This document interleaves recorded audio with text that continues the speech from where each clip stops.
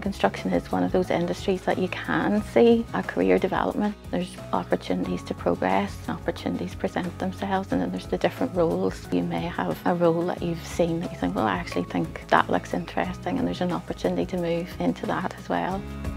In recent years there has been more opportunities for women in the construction industry. More recently we have had women within the specialist journey promoted to directors within the company and I myself have had a recent promotion so there definitely is an area for room and development in it.